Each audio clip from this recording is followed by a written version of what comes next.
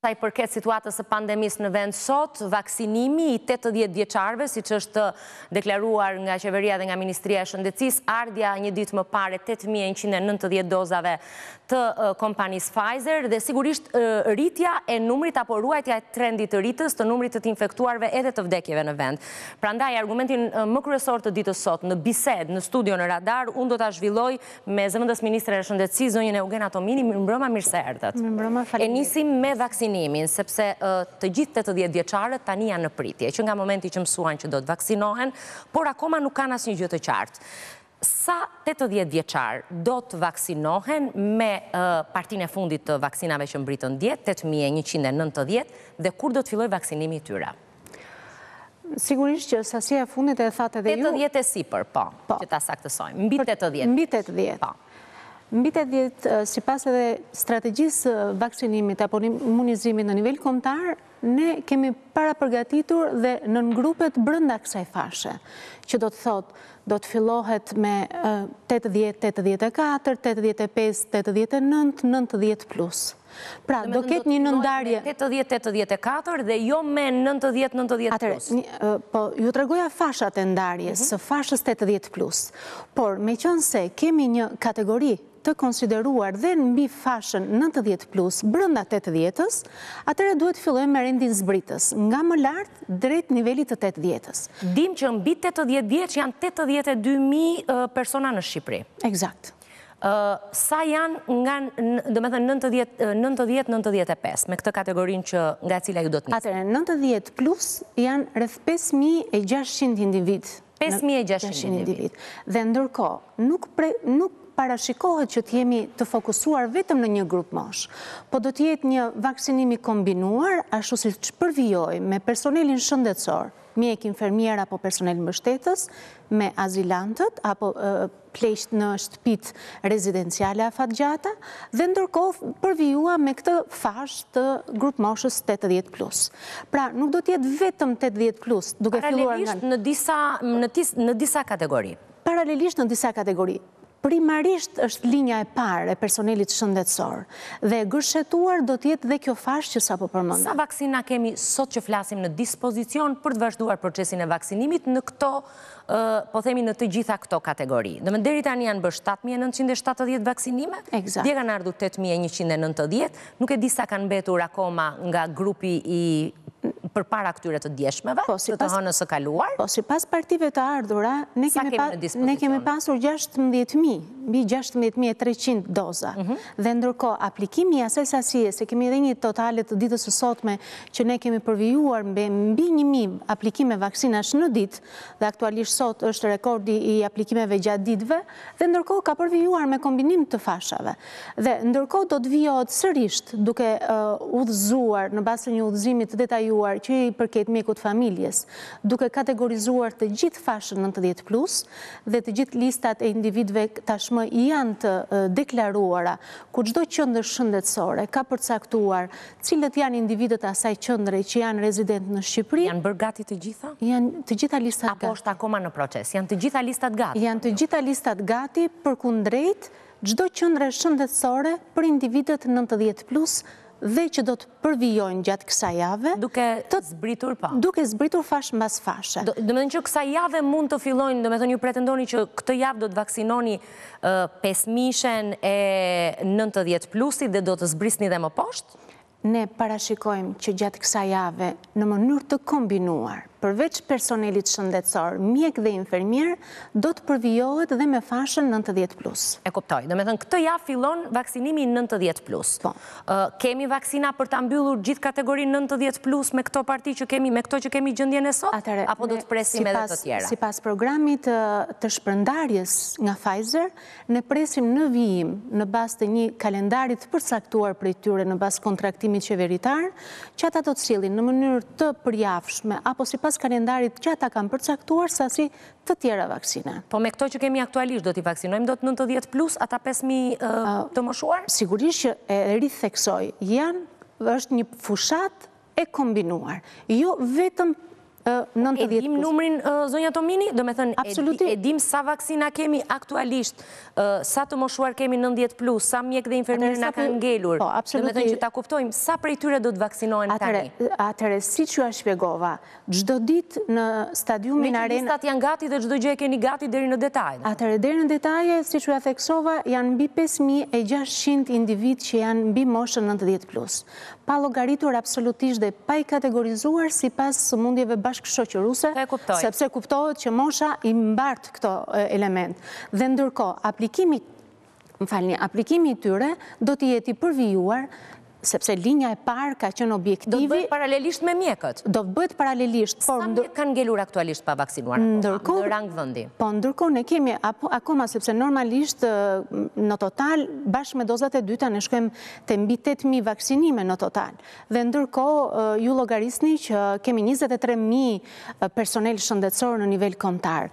Parashikojmë që Linja e parë, sipas objektivit dhe strategjisë, do të vaksinohen të gjithë mjekët dhe infermierët në nivel kombëtar, por duke parë që dozat e vaksinës po krijojnë një lloj stoku dalëngadalë dhe ardhje, sigurisht që kombinimi i fashave është një ndër mënyrat më të mira. Sa vaksina do t'u çoni mjekëve të familjes për nëntëdhjetë plusin këtë javë, meqë do të fillojë vaksinimi i tyre? Atëherë do ta merrni vesh në momentin kur do të fillojë vaksinimi nëntëdhjetë plus. Okej, e kuptoj që domethënë jeni në përllogaritje e sipër me sa marr vesh. Llogaritjet janë të ezauruara. Ne kemi bërë një transparencë goxha të pastër përkundrejt ardhjes së vaksinave, stokut dhe një kalkulim matematikor duket shumë qartë se sa Kanë vështirësi mjekët e familjes? Domethënë mendoni që do të kenë një presion nga ana e të moshuarve tetëdhjetë plus e sigurisht edhe më mbrapa kërkesë Domethënë kundrejt listave që ata do të ndjekin sipas këtij rendi që ju sqaruat. E besojmë që nuk do të jetë një vështirësi e tillë, sepse janë janë rrahur, do të thoja në thonjza, përkundrejt fushatave të imunizimit, përkundrejt fruthit apo fushatave të tjera të imunizimit më hershëm në the gjashtë nga poliomieliti, ndërkohë që bëjnë çdo vit fushatën përkundrejt vaksinimit ndaj gripit sezonal, ku kjo fashë apo kjo grupmoshë është e predispozuar për ta aplikuar çdo vit. E kuptoj. Të gjitha këto vaksina apo të gjithë këto procese vaksinimi për sëmundjet që më përmendët besoj janë bërë tek mjeku i familjes. Këto të Covidit do të bëhen në Air Albania, do të vazhdojnë të bëhen, domethënë në mënyrë të përqendruar siç i kemi parë deri tani apo do të shpërndahen edhe nëpër qendra shëndetësore dhe do të bëhen aty? Si do të menaxhohet? Me sigurimin e një stoku të shëndetshëm do ta thoja ose do ta theksoja që të kemi dhe për kalimin në mënyrë kapilare të aplikimit të vaksinës, jo vetëm për këtë fashë, por për gjithë fashët që do të pasojnë më vonë, sigurisht që do të kalohet në mënyrë kapilare. Po deri tani është një vaksinim i centralizuar, vetëm se në bazë të rekomandimeve të grupit të ekspertëve të vaksinimit, mund të jemi në Air Albania ose në një qendër shëndetësore që të jemi sa më afër popullatës. Po deri në këto momente është një vaksinim i centralizuar pavarësisht vendndodhjes.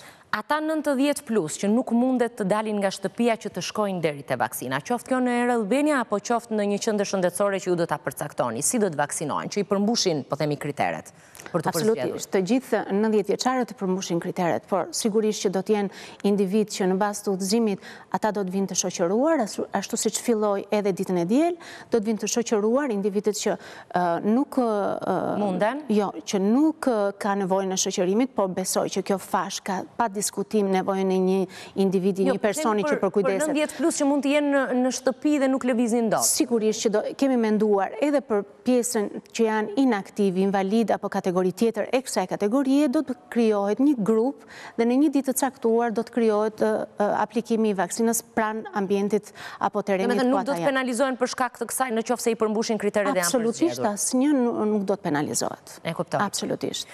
Mund të kemi individë që mund të refuzojnë. Po sigurisht sipas protokollit kanë një formular kundrejt refuzimit.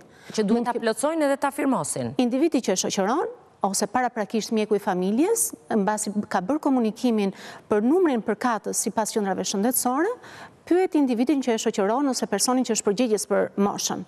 Dhe nëse ai refuzon përkundrejt shumë arsyeve, përkundrejt edhe të kalimit të një sëmundje edhe të Covidit vetë, sigurisht që plotësohet ky formular i firmosur nga vetë shoqëruesi ose nga vetë individi nëse refuzon për ta kryer. Sa kohë do ta presë, po themi, vaksina një të moshuar për ta bërë, domethënë, në qoftë se ai nuk ndodhet aty, nuk është prezent, nuk e di, për shkaqe dhe rethana nga më të ndryshmet, kur do të quhet ai, po themi, kur kjo vaksinë do të quhet e vlefshme për dikë tjetër dhe jo për atë që ishte e i paracaktuar në listë? Atëherë, mjeku i familjes në bazë listës emërore të paracaktuar që e ka nën varësi... Nuk keni lënë një afat kohor, për... për kohën kur duhet të shkojnë ta bëjnë. Po, Nëse nuk janë prezent atë ditë, çfarë do ndodhë me vaksinën e tyre? Bëhet rithirrje, rithirrje sërisht e individit dhe ritelefonohet përkundrejt ose individit që e shoqëron ose individit vetë.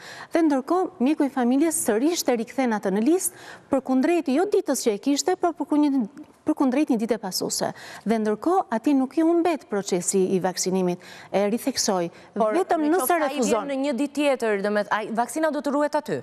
atëherë nuk është se do të përdoret për dikë tjetër derisa ai të vijë ta bëjë. Nëse do kemi një rregull aplikimi përkundrejt individëve që refuzojnë, individët që e kanë kaluar, individët që nuk gjen, po, nuk japin një përgjigje, ju kuptoj, ata që nuk përgjigjen gjatë thirrjes së asaj dite, sigurisht mbahen në regjistrin themeltar të mjekut të familjes përkundrejt mos mos thirrjes gjatë procesit të imunizimit dhe rithirren në ditën tjetër. Nëse dhe gjatë ditës tjetër rithirren sërisht për të ezauruar të gjithë procesin, sepse ose do kemi refuzim. Dy rithirrje? Ose do kemi kalim të sëmundjes, ose ne do të përvijojmë të thërrasim, nuk kemi limit për të rithirrur, moshat do të rithirren sipas fashave. Mund të vijë ndonjëri, po themi mbas një muaji, thotë dua të bëj vaksinën time, se Kam dëgjuar që më ka dalë emri, po unë nuk kam qenë aty prezent. Po absolutisht që do të jetë i përfshirë. Domethënë në qoftë se është në listë ai do ta bëjë vaksinën. Absolutisht se është në listë, së pari dhe së dyti që është grupi prioritar për t'u aplikuar. Të kuptova. Personalitetet, mbaroi vaksinimi i personaliteteve apo paralelisht do të vazhdojë me mjekët, ekipin shëndetësor, personalitetet edhe nëntëdhjetë plus edhe kategorizimin e mbi tetëdhjetë vjeçve siç ma shpjeguat? Nuk do doja ta thelloja më shumë një dizinformim të tillë, për jo, vetë po, faktin. Po të pyes. Ah, okay, pa... Domethënë, do të mbahen si kategori personalitete dhe do të vazhdojë paralelisht, apo do, domethënë, mbaroi vaksinimi i tyre me çfarë pamë në fundjavë dhe do të kalohet tek plus tetëdhjeta? Sërisht e ritheksoj, nuk do doja të dizinformoja sërisht ose ta thelloja dizinformimin për vetë faktin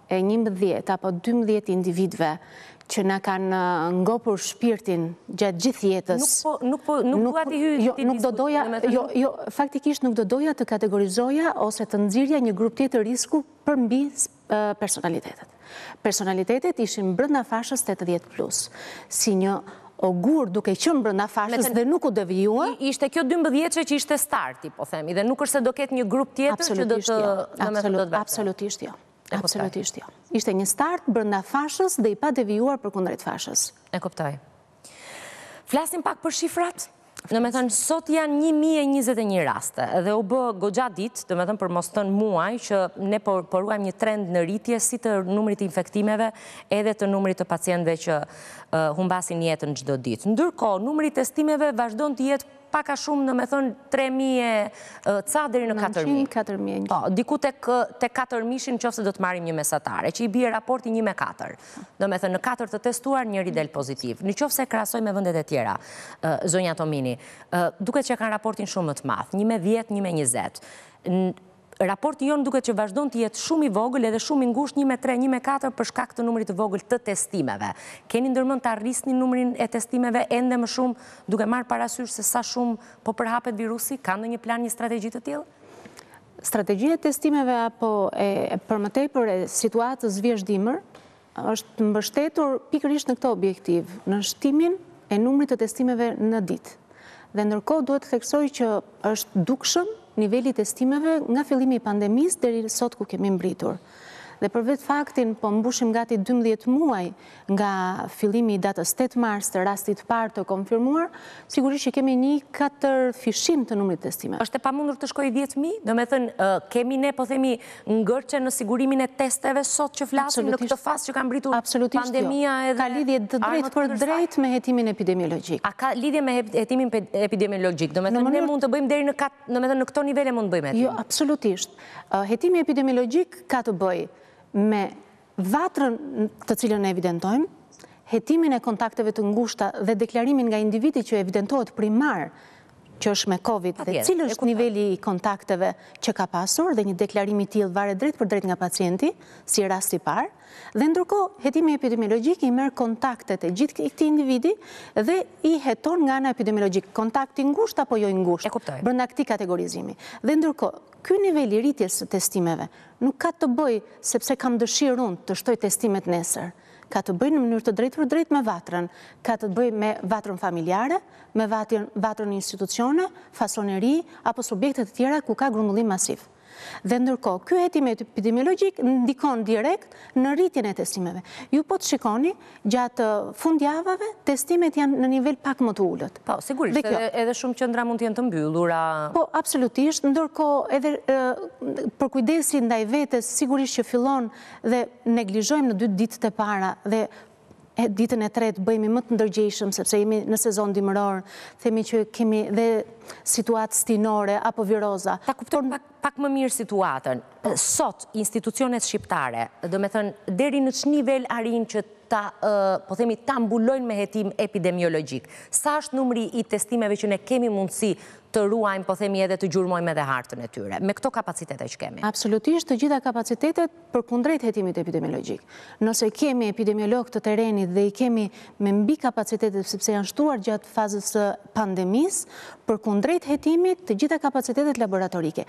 Janë katër laboratorë, laboratori një i Institutit Shëndetit Publik, laboratori i virologjisë... Katër laboratorë. Katër laboratorë. Edhe sa mund të bëjnë në ditë, domethënë mesatarisht, në kapacitet të plotë? Në kapacitet të plotë, shkojnë 3.000, 3.500, 4.000 testime në ditë. Por ndërkohë nuk harrojmë që një pjesë e raportimit është dhe nga laboratorët privatë, që zënë një përqindje. Megjithatë ne... Zënë një përqindje, por ama me laboratorët shtetërorë me katër, domethënë duke llogaritur edhe numrin e testimeve të privatit tek shifrat e katërmijëshit ne nuk i kalojmë dot, po themi, me kapacitetin që kemi të testimeve në ditë. Po, nëse do të kemi sigurisht lidhje të drejtpërdrejtë me një numër më të madh hetimi përkundrejt kontakteve të rasteve, kapacitetet shtohen sepse infrastruktura është. Duke pasur infrastrukturë në aparatura me PCR, sigurisht që prurja, sa më e madhe të jetë prurja, aq më shumë rritet numri i testimeve. Flas për aktualen ditore. Këto kapacitete mund të shtohen në varësi të nevojave, domethënë mund të arrijnë një shifër të papërcaktuar apo ka një limit kapacitetesh? Absolutisht e papërcaktuar. Mund të përballojnë për shembull 10.000 testime në ditë? Po nëse do të kemi një dyndje të tillë apo një numër të rritur përkundrejt hetimit epidemiologjik, sigurisht që do të përballohen nga të katër laboratorët. Domethënë ju mund të bëni edhe 10.000 në ditë? sot që flasim. Domethënë në qoftë se shtoni besoj burimet njerëzore. Atëherë, nëse do të kemi një hetim epidemiologjik, sigurisht që do ta shumëfishonim Shqipërinë në kapacitete, në këto kapacitete që është në popullsi, sepse nuk mund të kemi dhjetë mijë testime në ditë me këtë shpërndarje gjeografike dhe me këtë nivel transmetueshmërie. Nuk mund, domethënë nuk mund ta përballojmë me dhjetë mijë testime apo nuk mund të bëjmë. Sëmundshmëria nuk mund të paraqitet me dhjetë mijë raste. të infektuarish apo me një nivel të tillë testimi po, përkundrejt jo, po laboratorëve. Po them për testimin, jo për të infektuar. Sepse normalisht kuptohet që kapacitetet e Shqipërisë për nivelin e popullatës janë të katërfishuara përkundrejt nivelit përpara pandemisë sepse normalisht ka punuar laboratori i virologjisë pranë Institutit të Shëndetit Publik. Jam shumë qartë, po e krahasoj me para pandemisë, domethënë po e krahasoj me, me kurbën në po ngjitje të shtimit të kapacitetit. Pse duhet të marrim 10.000 testime në ditë? Për të kuptuar, domethënë për të kuptuar pak më qartë situatën, base. Po absolutisht jo, sepse nuk varet nga numri i testimeve kapacitetet laboratorike. Kapacitetet laboratorike varen nga prezenca e specialistëve të laboratorit, që janë mjekët edhe laborantët që punojnë me të tre turnet në Institutin e Shëndetit Publik dhe në laboratorët e tjerë mbështetës. Kemi kapacitetet në aparatura që funksionojnë në mënyrë të plotë, Kemi shtim të strukturës laboratorike në tre laboratorë të tjerë të Qendrës Spitalore Universitare Nënë Tereza, kemi në Spitalin Shefqet Ndroqi dhe laboratori i dytë mbështetës i. E kuptoj. Domethënë po ju këta punojnë me tre turne, përballojnë me tre turne, domethënë që po thotë në po them në në në sforco të plotë katër mijë testime në ditë. Dhe ne kemi mundësinë nëse shtojmë kapacitetet e njerëzve, po themi të burimeve njerëzore për të shkuar edhe në nivele të tjera nëse do jetë nevoja. Në plane organizative, absolutisht që ka kapacitete, jo vetëm humane, po edhe në aparatura për të përballur. Edhe në aparatura. Do me thënë, aparaturat mund të nxjerrin rezultate në ditë, aq sa do të jetë nevoja. Jo vetëm, do me thënë, nuk ka tërmishja limiti. Absolutisht nuk ka limit në testimet ditore. Përkundrazi, sa ç'është prurja, aq testohet. Nëse prurja do të jetë akoma më e madhe, absolutisht që kapacitetet vendosen, mbivendosen mbi kapacitetet aktuale dhe do të kryhen të gjithë testimet e kryera apo të ardhura përkundrejt katër laboratorëve. E kuptoj. Domethënë, kjo shifër mund të ndryshojë. Domethënë ka diku te tre javë që qëndron pak a shumë në të njëjtat nivele, do donim mos të rritej, por nëse do të jetë nevoja mund të ndryshojë. Do të ishim fatlumë të mos rritej. E kuptoj. Ndërkohë, tek testimet, dua të të pyes, Vazhdojmë me testet e shpejta apo i kemi testet e shpejta të alternuara me tampone? Domethënë si po bëhet testimi i popullsisë sot? Domethënë këto katër mijë testime, përfshi këtu domethënë dhe privatin, po ato që bën shteti janë vetëm teste të shpejta apo tamponi vazhdon të qëndrojë në fuqi? Absolutisht është një testim i kombinuar, ku mbi pesëdhjetë e katër njësi të testimit të shpejtë antigjenik operojnë në nivel kombëtar. Përkundrejt testimeve të PCR-së apo tamponit klasik për diagnozën e Covid-it, për katër laboratorët që sapo përmenda. Dhe ndërkohë shoqërohen testimet e shpejta me konfirmim me tampon, siç ishte shpjeguar në fillim, domethënë që testi i shpejtë do të përdorej për depistim edhe ky për diagnozë? Shumë korrekt. Ndërkohë, në të gjitha këto njësitë që sapo përmenda, në 54 njësitë, kryhet testimi shpejt brenda një intervali ku virulenca është e lartë, mhm. që intervali është një deri në 4 ditë, 4-5 ditë, or maksimumi është në 5 ditë. Nëse do të kemi individ që drenohet ky fluks nga mjekët e familjes, sigurisht dhe nga urgenca kombëtare, atëherë kalojmë në tamponin e PCR-së. Nëse do të kemi individ që me testin e rapid test antigenik rezulton negativ, por ka të gjitha mundësitë dhe kriteret epidemiologjike dhe klinike, sigurisht që kjo mostër ridërgohet, përkundrejt. Domethënë, ky është procesi që bëhet aktualisht. Çdo ditë, i përditshëm, çdo njëzet e katër orë, çdo rast të dyshuar. Domethënë, nëse dikush shkon, thotë kam simptoma, po ndërkohë testi i del negativ, rikonfirmohet me PCR me tampon, dhe e kundërta. Jo, rikonfirmohet nëse Kemi kriterin epidemiologjik që ai është kontakt ose ka qenë pjesë e një grupi të konfirmuar pozitiv ose ka qenë kontakt i një rasti pozitiv. Dhe së dyti, nëse ka shenja klinike dhe elementi epidemiologjik dhe klinik e forcon mhm. diagnozën që ky rapid test ndoshta nuk është... Mund të jetë fals negativ. Mund të jetë fals negativ, siç e pranon çdo procedurë. Dhe ndërkohë, kjo mostër, ose i merret tamponi nazofaringeal sërisht, për t'u dërguar pranë laboratorëve referencë që është ISHP-ja dhe tre laboratorët e tjerë. Të kuptova. Çfarë do të ndodhi me vaksinat? Dhe a kemi një përgjigje nga laboratori ku kemi çuar mostrat me dyshimet që kishin autoritetet shqiptare për hyrjen e varianteve të reja? të virusit, kur do të na vijë ai konfirmim dhe çfarë, domethënë çfarë plani kemi për të menaxhuar situatën kështu siç është. Komiteti i ekspertëve ndërkohë a po diskuton, flitet gjithmonë nën zë do mbyllemi, do mbyllemi, askush nuk di asgjë të qartë. Nuk e di në qoftë se komiteti i ekspertëve e ka qartësuar këtë gjë, po a ka skenare të tillë në tryezë? Sigurisht Komiteti i Ekspertëve mblidhet në mënyrë të përditshme, duke gjykuar në dinamikë situatën dhe duke vlerësuar përmbi të gjitha numrin e rasteve pozitive në bazë të tre kritereve, numrin e rasteve pozitive, shërbimin spitalor përkundrejt popullatës dhe rasteve që kërkojnë, por dhe një indikator tjetër rishtas, që është grupmosha e re e prekur, është një fashë e zbritur më poshtë, ndërkohë që në gjashtëmujorin, shtatëmujorin e parë të pandemisë kishim fashën e moshës së tretë, Ndërkohë kemi një zbritje të fashës me klinikë dhe që kërkon trajtim spitalor. Dhe këto indikatorë gjykohen dhe diskutohen përditë përkundrejt masave shtrënguese apo të qenurit stacionar në këto masa që jemi. Si jemi? Deri në këto momente mhm. jemi stacionar në masat që jemi, sepse kemi një incidencë vërtet me pozitivitet por e kemi të qëndrueshëm me luhatjet ditore po është shumë tranzitor. Por incidenca është e qëndrueshme për mbi dhjetë ditë. Sigurisht që edhe dy ditë Komiteti Teknik do të dali me rekomandime të tjera përkundrejt qeverisë në lidhje me shtrëngim apo stacionim të masave. Po deri në këto momente jemi në të njëjtat kushte për shkak të incidencës së qëndrueshme pavarësisht oshilacioneve tranzitore. Kam edhe një pyetje tjetër. Mund të duket larg, duke marrë parasysh që pandemia dhe komiteti i ekspertëve i sheh shifrat javë pas jave, ndonjëherë edhe ditë pas dite, për të parë se si do të paraqitet situata. Njëzet e pesë prilli mund të duket realisht larg. Po, a ka gjasa që në qoftë se shifrat do të vazhdojnë dhe do të rriten, komiteti i ekspertëve të kërkojë edhe shtyrjen e zgjedhjeve? Domethënë, a mendoni ju që mund të mund të mbahet një proces zgjedhor, me dyndjen e madhe që njerëzit do të kenë në qendrat e votimit, nëse situata do të jetë e rëndë? Potencialisht, është e mundur të ndodhë kjo?